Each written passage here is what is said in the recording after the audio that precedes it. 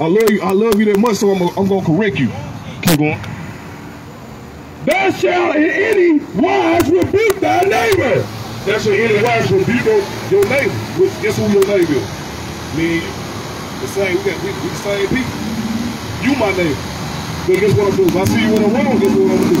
I'm gonna correct you. That's it. It ain't, it I'm probably gonna be real sharp. Be like, hey bro, that's weak as hell, bro. You leave yourself ahead. Why you gonna do that? And not suffer sin upon him. Not suffer sin upon him. Because guess what? If I suffer sin upon you, guess what? I'll pray your sins too. I'll pray your iniquity uh, Ezekiel 3. Ezekiel 3. I'll pray your, I'll pray your iniquities too. You know what I'm saying? It's, so it's, all about getting out there, getting out there hateful minds and hate your brother. You know what I'm saying? But bro, you, you an Israelite. You've been proven. I'm glad the most like grab your ear to hear. Maybe, maybe it's the time today, but you need to change your life. So guess what? What you doing tomorrow? What you doing tomorrow? Matter of fact, what you doing later on?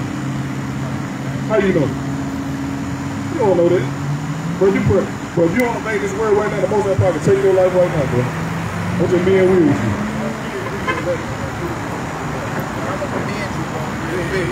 you. Aside from everybody else, like I said, you're coming up here, standing on your faith.